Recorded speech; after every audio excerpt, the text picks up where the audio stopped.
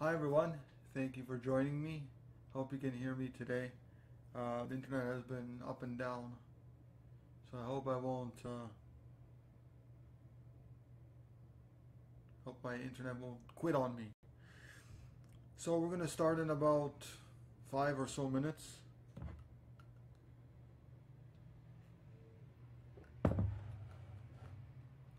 I have a lot of a lot of updates and news, and also um, if anybody has any questions, I'm I'm here for for anyone.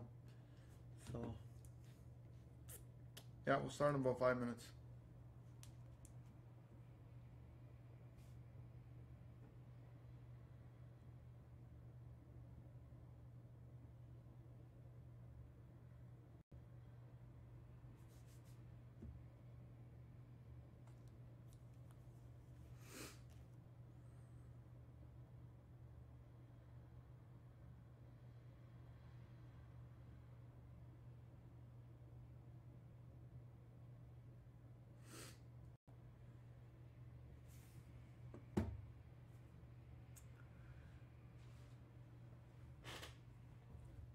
So, hello everyone again, and we'll start in about five minutes.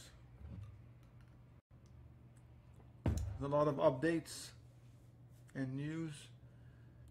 Um, just be aware that my internet might be down for some reason this morning. It's been up and down. My internet is never never stable here. We don't have a good connection in uh, where where I live. But in any case, um, yeah, we'll start in uh, very shortly.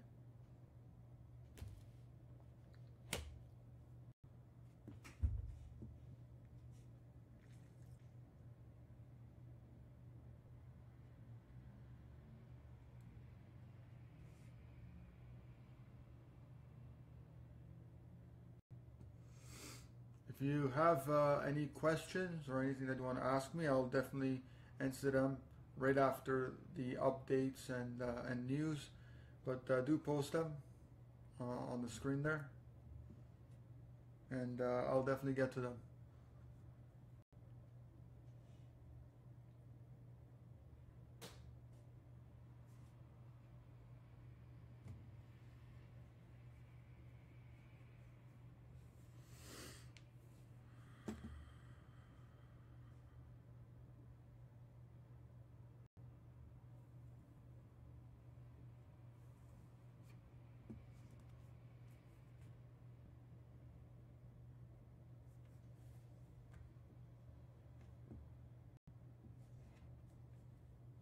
Is going up and down.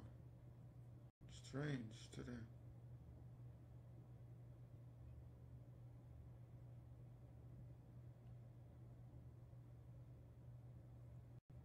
Hi Phil, how are you?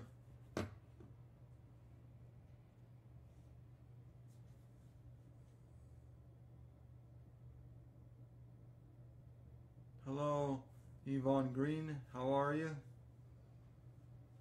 Nice to see everybody here. We're going to start in a few moments. Hi, Kelly. Early morning. Let's do our stretches, everybody. Hi, Cassandra. Let's do our stretches. Oh, yeah. Okay. That's my stretch for this morning. Let's uh, talk about our gratitudes this morning. So, what is our gratitudes? Hello, everyone. What is our gratitudes today? Well, I'm grateful for Facebook for having this live feed. I'm grateful for all the vegans out there. I'm grateful for what else? Huh? For Amazon for ha- having my books on. I'm grateful for my mom, of course, for giving me birth to me. Um, I'm grateful to the rain that's now outside. So I'm grateful for a lot of things. And don't forget, drink water. Uh, okay, I guess we'll start.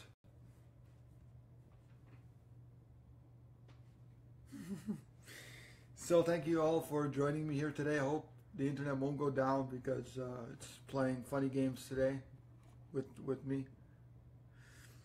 So um, there are few like like few updates I want to I want to talk about today, and that is that as you know, my book The Lost Love will be out as an audiobook March 31st, and it'll be a worldwide release starting March 31st. And so you can definitely find it on weareinterconnected.com starting on the 31st uh, through Amazon, through iTunes, through Spotify, and 30 plus other sites. It will be available. And of course, directly through cdbaby.com. So that is a great, great news. Please do listen to it. It's it's about three hours in length. Uh, it's the high quality FLAC MP3 version. So if you want to listen to the free version, which is a lower quality, you can through YouTube and Internet Archive. Um, you can also download it as well. So that is uh, the first thing. Uh, second news of the day. Let's get into it. Drum roll, everybody. Woo! Okay. So I started gathering ideas for a book that I had on my mind for a while. And it was very, very urgent that this book comes out because people need it. People were asking me, like, Michael, you need to write a book like this. Uh, how do people make money while uh, advocating for animals, advocating for veganism. How do we do this? How do we do it full time? And I thought to myself, hey, I'm doing it full time, and I am living proof that you can live as a vegan advocate and do it full time while making some money. But I've been doing it for many years, and um, then I decided that I'm, I'm the focus is not going to be on money because that's not what the what, what the whole thing is about. It's really about healing ourselves. It's really about creating the perfect life as a vegan. So I kind of went on another kind of switched switched the ideas a little bit and I'm calling it instead how to create the perfect vegan life. And let me let me talk to you a little bit about what the book is on. So, and I'm going to talk to you a little bit about each chapter. So, it's called How to Create the Perfect Vegan Life. And I started the main skeleton outline of the book in November of last year, but I did not start actually writing it until just recently, maybe a couple weeks ago. So basically the premise of the book is really to get get vegans to understand how important vegan advocacy is and how important we are actually meant to dedicate our lives to that. And another thing is to try to see it that vegans heal themselves to be the best advocates we can for animals. So in chapter one, of course, there's an introduction and and uh, and afterward, but in chapter one, I talk about why vegan advocacy is so important. Now, again, this book is not finalized yet, so chapters might you know move here and there. I might uh, delete a couple chapters, whatever. Like it's not finalized, but this is the rough sketch. What I've what I have. I've already written about some 50 pages. So the first chapter is why is vegan advocacy so important? Uh, one one moment here. Uh, one second here.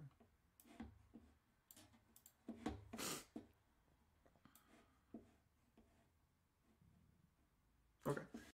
Um, so the second chapter is trying to get people to understand that it is not about us humans. It's about other animals. We're doing this for other animals.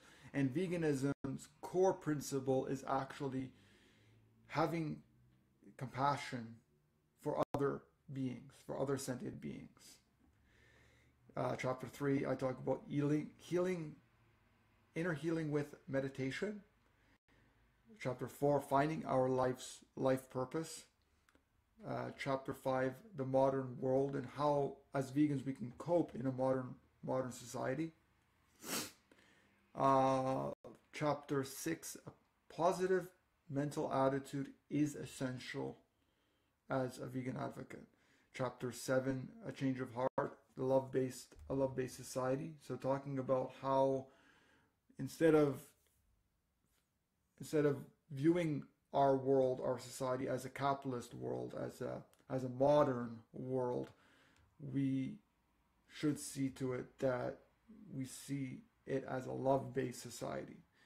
Then I go into um, chapter eight, how we can how we can um, become happier and better advocates. And chapter nine, I'm not entirely sure, but there's a there's a chapter nine there, and then there's of course the afterword. So that is the basis of the book. And I think it's so important because there has not been a book out there that discusses these issues and how to actually heal as a vegan advocate. Because I, I, have seen a lot of people who have a lot of mental disorders and a lot of you know, depression and a lot of self hate issues and, and, and, all these things. And it's it's hard as a vegan because we're so traumatized in a world that is not yet vegan, in a world where we're so bombarded by by animal consumption and animal uh, seeing animals as property. It's it's just so pervasive within our society and culture that I feel that there needs to be some kind of like help book to get vegans kind of through this. Now, of course, it's not meant to to solve or to answer every question. It's not meant to uh, to cure any kind of disease or any kind of illness that one might have, because again, there are so many aspects when it comes to capitalist society, when it comes to hurting hurting culture. There's so much when it comes to just living in a non-vegan world, and so that is um, what I'm working on right now. So if anybody has any ideas or anybody has any um, anything they want may, may may want to see in this book or to read in this book, definitely do um, tell me and uh, contact me if you if you have anything that you want me to add to it. So, another thing that I've been doing recently is reading Casey Taft's new book. And his book is entitled Millennial Vegan. It's a really great book. I have been reading it. I've been following him for a while now. He is the co founder of Vegan Publishers. So he essentially is running it with his wife and he also has written a book called Motivational Methods for Vegan Advocacy. Both books I highly recommend. The first book, Millennial Vegan, will be coming out April 1st.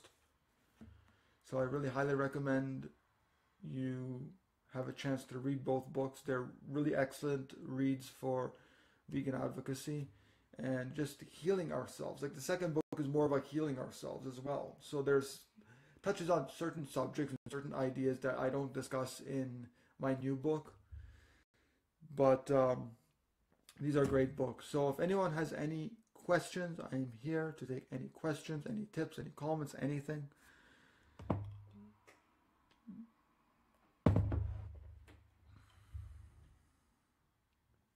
I know there might be a lag today on the video because of the fact that my internet is going up and down, so sorry for that. If anybody has any questions, anything that they want to add, I'm here um, for at least half an hour, 45 minutes. So, thank you all for joining me here today.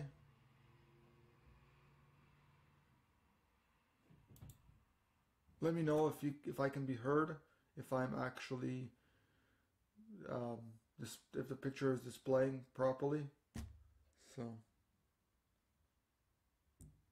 I'm just so excited about that, uh, about the release of the book, the audiobook, and also write starting and writing this book. It's it's like helping me a lot. I'm I'm right now I'm writing um I'm writing the chapter about love, and it really goes into the heart of why we need to love ourselves, and also um, how it equates to actually loving other beings. It's like we can't love other beings if we don't love ourselves first and so this is really the key when it comes uh, when it comes to it.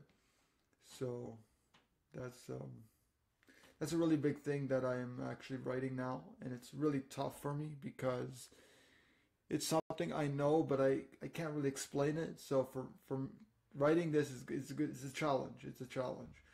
And um, so let me let me read you a little bit about a little bit of the book. Um, let me read you. I haven't written the. Haven't written the introduction yet, but let me read a little bit of the book. Let's see here. So let's read a little bit. Why is vegan advocacy so important? So, this is the first chapter. So, as vegans, we all want to live in a peaceful world. We all want a world where we share and cooperate with one another, where everyone is treated fairly and has wholesome food, water, and shelter. But can we actually get there in our lifetime? Being vegan in a non vegan world is tough, especially when our parents, family, and friends mock and ridicule us and justify non human animal exploitation and use like it is no big deal. It is also difficult living in a world of immense suffering and violence, where wars are raging, slaughterhouses abound, and the environment is being utterly devastated. It seems as if no one cares. As vegans, we don't understand why so many people are condoning violence. Humans love violence. It is everywhere on TV, in the movies, in the news, and in our food. And not only that, violence is supported through educational systems, governments, and the healthcare and pharmaceutical, pharmaceutical industries, military and law enforcement, and religious institutions. If we want to live in a peaceful vegan world, we must promote veganism. Just like if we want to run a marathon race, we need to focus on the finish line and not anything in between. Promoting anything less than veganism is counterintuitive to the vegan movement. And that is what veganism is a social justice issue, the way to peace. Simply stated, veganism is love. So that is part of the book. I'm not going to say any more about it, but uh, thank you, Kelly, for the lovely comment. And um, we definitely need to spread this message as far and as wide as possible. So, again, thank you all for being here. If anybody has any comments or questions or anything, I'll be here for a little while. Don't forget to drink your water, eat your fruit, and love life. Because life is, this one life we have is so precious. It's just a beautiful life. I mean, now it's kind of gloomy outside, it's dark, but you know what?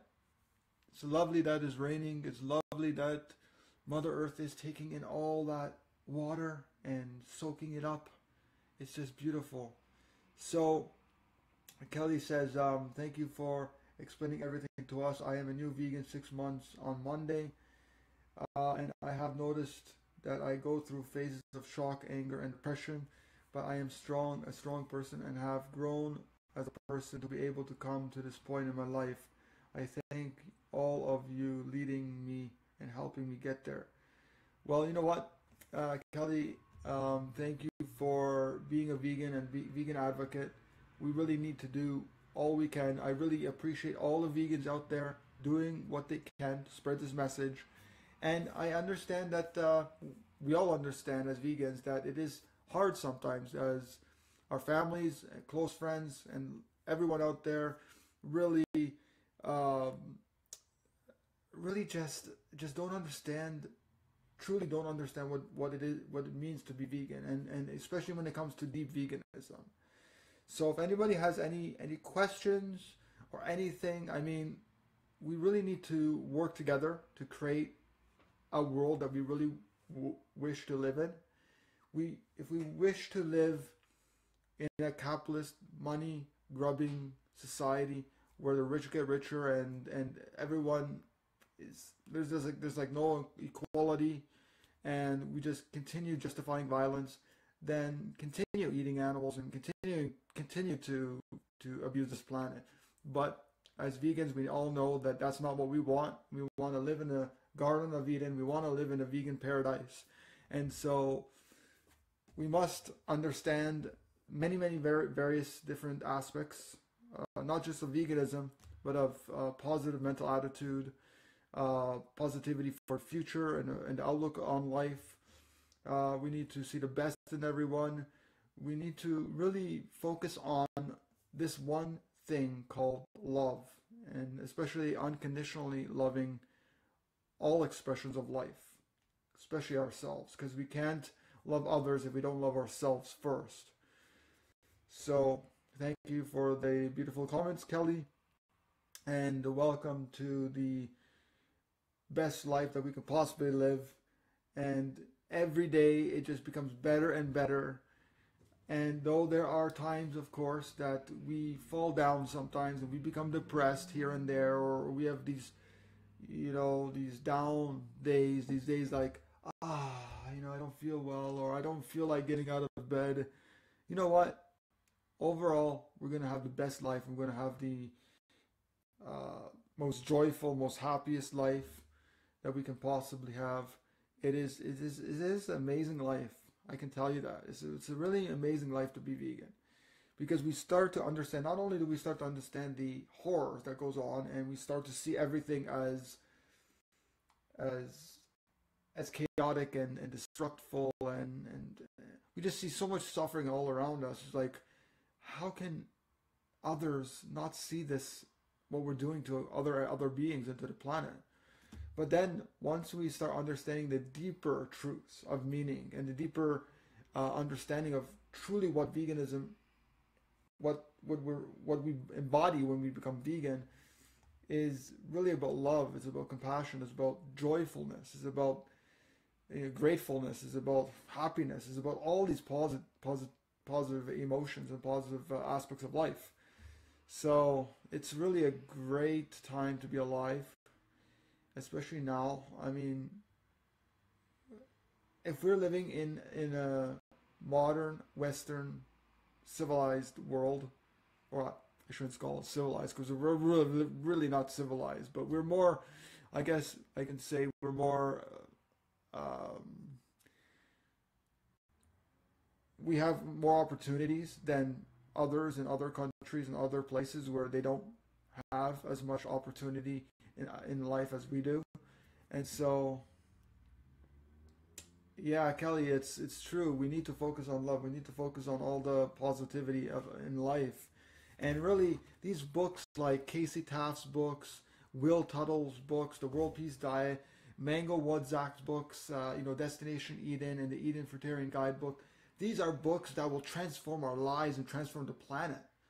Like, I can't I can't emphasize enough how important it is to to these. I mean, just these two things: keeping a positive mindset and also love. Like these are the two most important things that we can actually focus on, and this will create a benevolent, uh, revolutionary world that we all want to live in. It's just unbelievable life, and every day is just getting better and better and and more joyful. It's like it's like wow, I want to live here in this world and I want to experience it and I want to contribute to the healing and betterment of this world.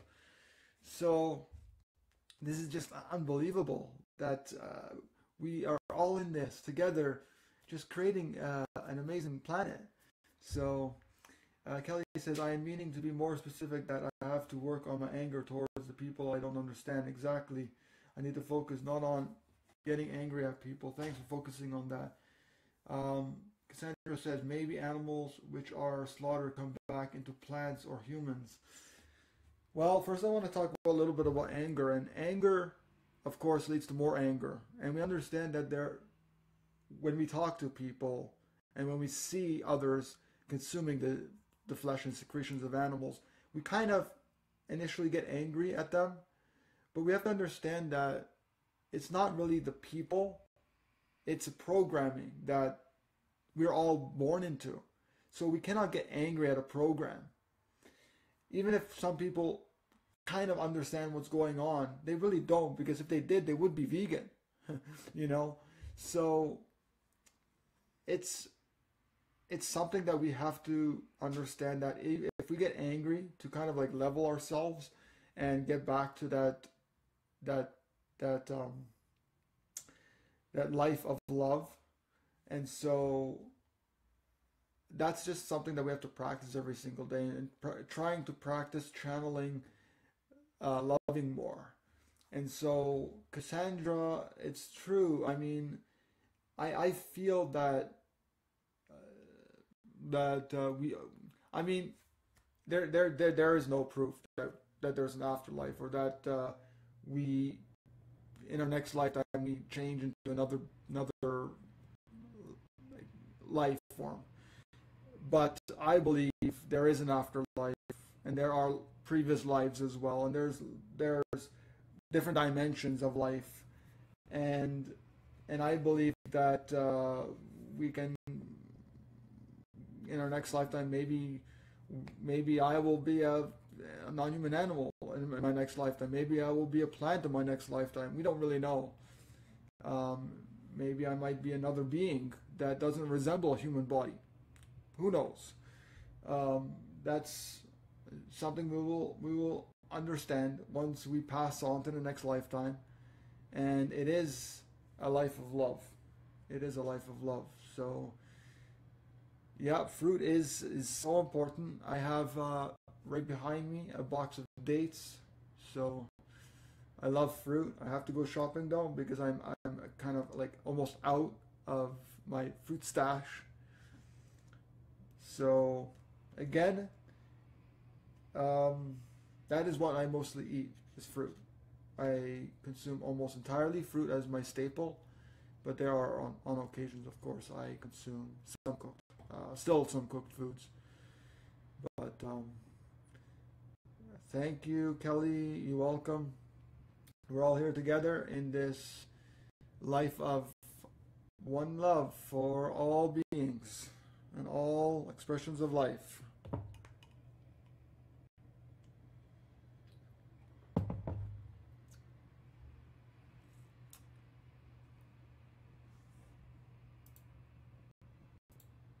Any other questions anybody has, or tips, or any comments?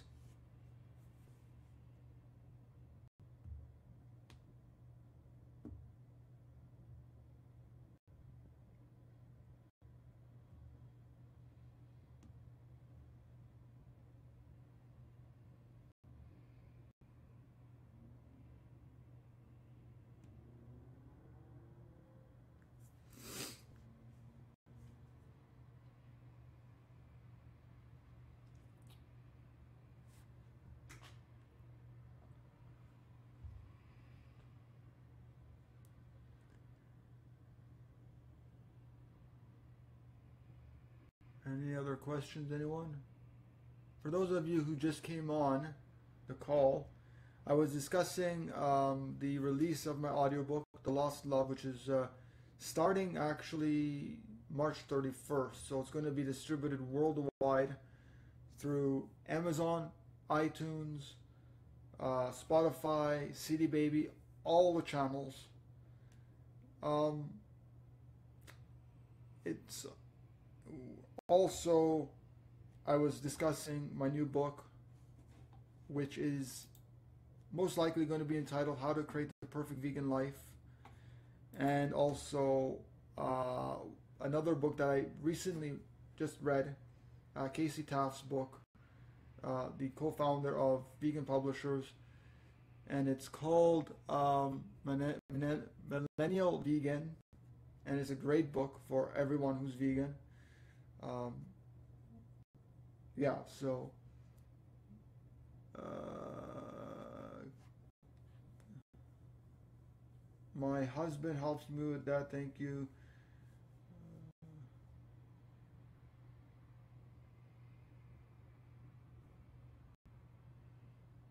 Uh huh. Okay. So that is a good thing. So I'm gonna I'm gonna jot this down. Um, so um, the book is going very well. Thank you, Kelly, for that. Um, it's um, how to live the perfect vegan life, and there's actually a section there about why vegan advocacy is so important.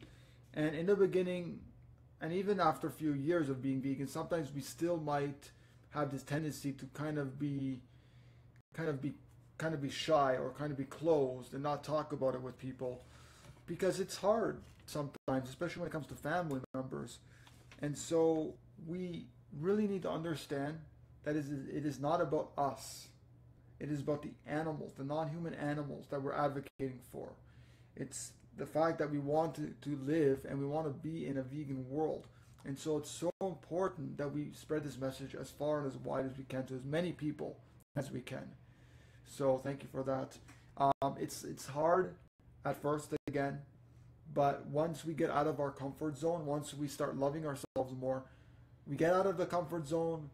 We don't even care about how we say the message or what we say, as long as we get the message out as time goes on, we start learning how to better communicate uh, with others and how to, you know, like what words and and what things we should say that are more effective in our vegan advocacy. So Cassandra says, "Do you think evil of people who eat meat or kill animals?" And the, the answer, the to address this, I um, will say no.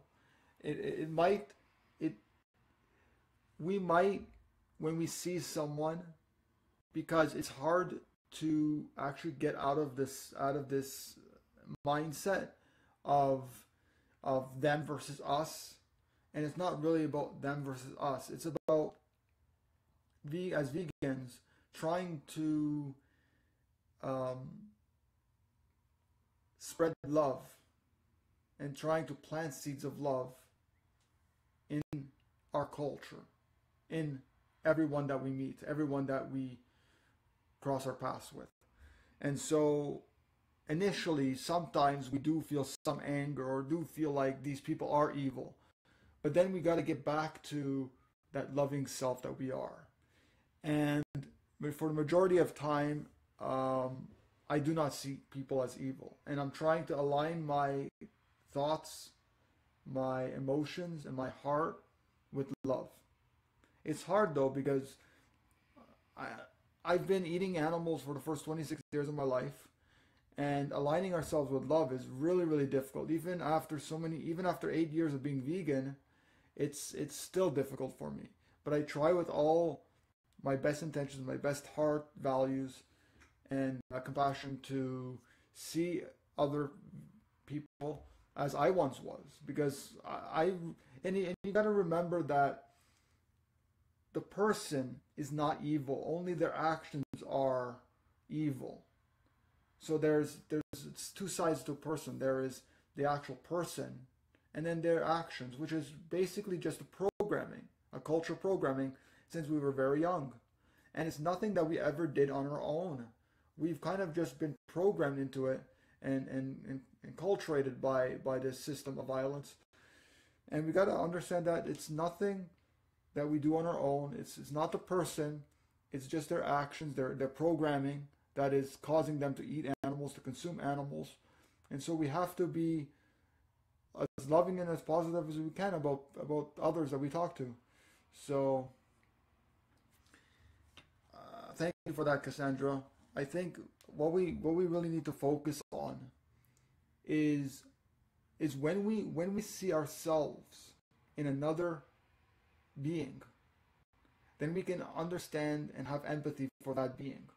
If it's a non-human animal in um, going on to going on their way to slaughter, or if it's a, it's a, if it's a human animal that we're discussing veganism to, we got to understand that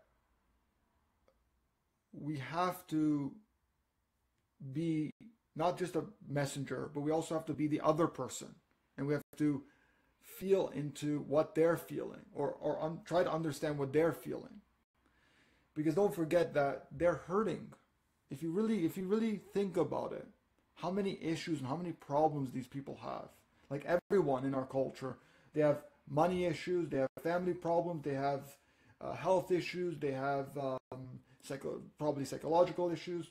They have, uh, plus on, on top of that, they're eating animals, which is uh, loaded with with uh, vibrations and energy vibrations of terror, terrified uh, vibrations, the violence, the fear, the, the, the loneliness, all this. And so we have to fully understand what they're going through, and we don't know what they're going through. And so we have to really be patient with people, including our families. I mean, we might think like, ah, they don't care, and you know, it's they're never going to change and whatever. And this is a really bad attitude to take. I mean, we were never like that in our past. I mean, a lot of us were not born vegan. We were not born, uh, you know, eating plant foods, and so we have to kind of have empathy for these people and kind of really, really try to understand from their point and their their view. And even if they justify, and even if they squirm and move each way and say, "Oh, I'm going to eat animals and I love bacon," and all these justifications, it's just the programming that's running through their mind. It's ego, and so we have to take that in consideration. So, can you give me an example? I'm at the supermarket or at the checkout. Uh, what do I say to strangers? Should I do that, or is it best to stick with people we know? Sorry, it's that ridiculous question. Oh, no, no question is ridiculous or stupid. Um, it's hard, even as uh, even me, uh, eight years being vegan. Sometimes I just keep quiet in certain certain cases, and I and I let people address the question or let people talk about veganism to me. Sometimes I don't just say it out loud uh, or, or just go up to somebody and say, you know, address uh, animal ethics to them or veganism to them. It's uh, it, also depends on the situation and the, and the, and the case because every case is a little bit different. So, um, I'm like, it really depends also on what what situation you're in first of all and what what part of, in your life you're at, what level, like what what level or what part of, of your journey you're at. If you're just a beginner vegan, then it is good that you learn as much as you can. The education part is really important. The meditation is really important. We really need to find out who we are and and what is our purpose and, and how, you know all this before we actually start talking to people I mean, yeah, it is it is good that we talk to people, of course. Never stop talking to people. Um, the way the way to do this, it's again every situation is different, and sometimes you'll feel comfortable one situation to just go up to somebody and talk to them about veganism, and then sometimes it's like, no, I don't want to talk to anybody today. You know, I just want to be to, be to myself, and and so there's a lot of lot of factors when it comes to it. It's really just hard to give like a one kind of answer for that fits all. Uh, the way I, I, I feel is that um, to a certain degree, I talk to some people, but I also am in some way quiet. So it's better to be passive in in the sense of don't be quiet, but then don't also be pushing, too pushing when it comes to comes to this uh, spreading this uh, this message, which is all about love and compassion and kindness and empathy. And so um, specifics like when you go to the supermarket, do you talk to people, and the answer is what I usually do, and this is a good thing for for starting uh, a conversation, is if you are carrying any kind of bag or any kind of, let's say you have a coat uh, or jacket or, shirt, t-shirt, have a like a vegan on the on the t-shirt. Have some kind of message on your bag that says vegan or I'm vegan or whatever. Like put some kind of sign on there, and that way when people see the sign, they might talk to you and say, "Oh, I love you. I, I like your sign that you have there," and then you can start up a conversation like, "Oh, thank you. Are you are you vegan yourself?" And then you you know have this conversation. Um, or you can have a conversation like if somebody puts like animal products on the conveyor belt when you're going to the checkout line, you just say like something nice like like oh I see that you you have milk. Have you ever thought about um, or maybe let's say um, did you know that they have uh, all, like like non-dairy milk like almond milk or something like that so we try to, as much as we can, not use the, the word you, okay, if we possibly can. Uh, because that kind of feels like you're kind of judging them. You're kind of like trying to get them to change in some way. So I like to use um, I statements as much as I possibly can. Now, in certain cases, of course, it's not possible to use I statements. And so sometimes sometimes it is okay if we maybe use we instead of I instead of you, but try to avoid as much as as much as you can the you, because I think it um, it really kind of gets people thinking like like they're they're kind of judging me or whatever you know like I statement just tell them like oh I, uh, I I found in the aisle or whatever. Like if you if you talking to, talking to somebody and they they're they're putting on a conveyor belt, let's say eggs or milk, you're like, Oh, hi, how are you? Uh, I, I found some, uh, I, I, saw, oh, I saw in the aisle over there, I saw some soy milk or almond milk if you, if you like to try, you know, or something, you know, some kind of, um, conversation. But when you're in that situation, you'll know what to say if you, if you, if, if you have anything to say. If you don't, um, that's fine too. I mean, just being quiet, uh, letting people see your advertisement on your shirt or on your bag, that's uh, that's good enough, you know, because then they'll it'll plant it'll plant the vegan seed within their mind. Because every time they see the vegan word, they hear the vegan word, it plants more vegan seeds. So, again, sometimes I'm quiet, sometimes I'm very vocal, sometimes I just don't want to say anything. But um, after being vegan eight years, I started being actually more quiet over time. But I still do discuss veganism with people but I am doing more of the inner work.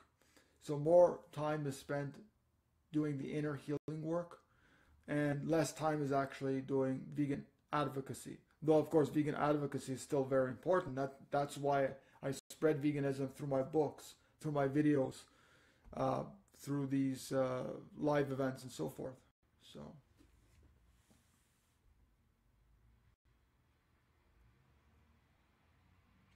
Yeah, we can't change anybody, unfortunately, and that is that is one thing is we cannot change anybody. We can only change ourselves. The only thing we can do is plant vegan seeds of love and compassion in others. That's all we can do. It's like if we plant plant the flower. We're planting. We put the seed into the ground, and we water it as best as we can. We don't shout at the plant, grow, grow, grow, grow. You know, come on, I've been waiting for so many weeks. Grow already, because that's not going to get the plant to grow. I mean, that that's like shouting at the plant. That's not beneficial.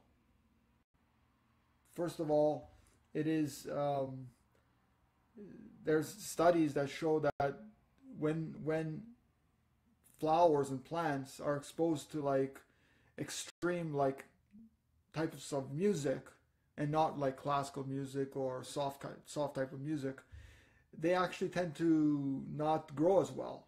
And so that's same thing when it comes to people. When we are have any sort of negative emotions towards them, if it's through our verbal contact with them or just through our thoughts of, of these people, it tends to actually be counterintuitive uh, with our vegan advocacy. So just remember that that is what uh, we want to be. Is we want to be, you know, productive when it comes to spreading this message. And so when it comes to blaming and judging and screaming and uh, being angry at these people, it, eh, there's no benefit. You know, it just leads us to, to being more like uptight and clenching our fists and clenching our teeth and our whole body is kind of uh, like no that's not the way to go so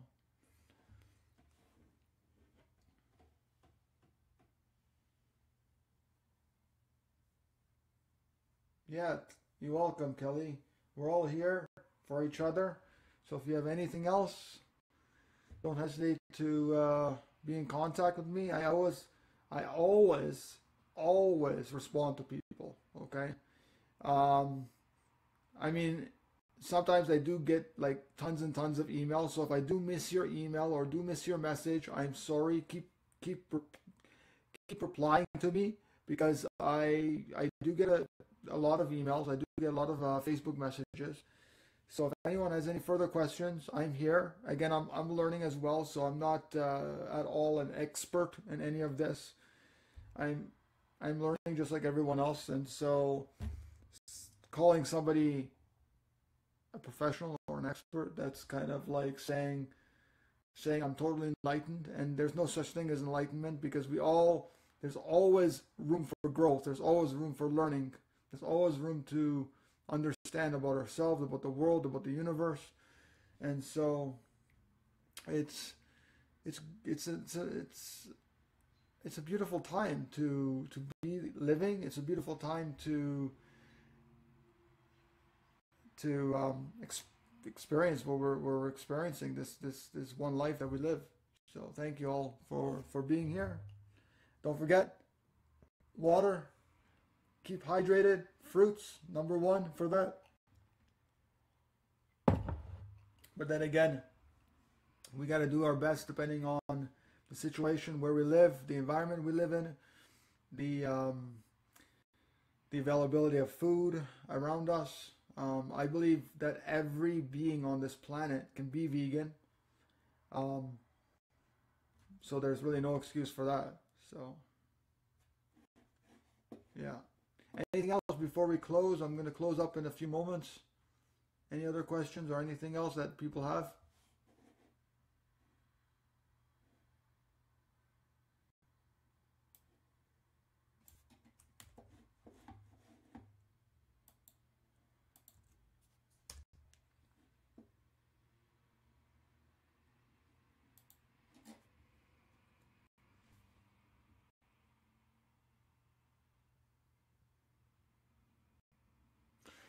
Um,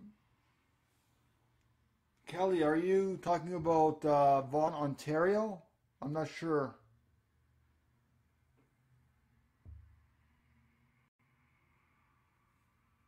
I'm not sure exactly uh, which Vaughan you're talking about because there's many different Vaughan, uh, cities of Vaughns around. So, but uh, when it comes to vegan T-shirts and buttons and all and plaques that you can put on your bags and whatever, um, the best thing to do is go online. There's many vegan online stores. They might, yeah, Vaughan, Ontario. I'm not. I'm not familiar with any stores. The only store I know in, in all of the GTA area is um, in downtown Toronto. There's uh, I think one or two vegan vegan stores that just opened up so you can check that out. Um, one is owned by that vegan fast food place um, or junk food place. It's called um, Doomies. So it's owned by Doomies. I can't remember. I can't recall the name of the store, but it's on um, Dundas Street West, I believe. Uh, can't recall the area. I haven't been there yet, but uh, there's rave reviews about this store. It has a shoe uh, they sell a lot of shoes in the basement as well, so that's really a great thing as well. So uh, online, uh, Vegan Essentials is one store. There's veganstore.com, Pan, Pangea, I believe it's called. Uh, the veganstore.com, uh, veganessentials.com. There's other vegan stores out there. I purchased for from one in the in, in Europe, in Germany, which is great. Um, can't recall the name of it, but uh, yeah, you'll find it when you search on uh, on on a search engine. You'll find um, there there are many vegan stores out there. Uh, in the U.S., there's Viva la Vegan. There's um, so many. So thank you everyone for joining us here today. Thank you for all the questions, everything that uh, you guys are doing to spread the vegan message to the world, to make this Garden of Eden a reality and a and possibility.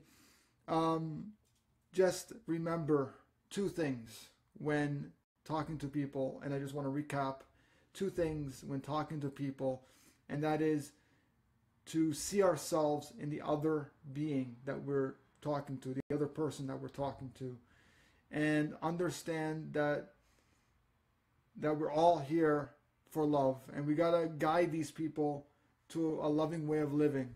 And that is sometimes hard because we've been programmed for years and decades to think otherwise. And so we have to kind of like guide them to a better way of living. Planting vegan seeds of love is all we can do. That is all we can do. We can never change anyone else. And that is not really what we're here for, not to change anyone. We're not here to change the world.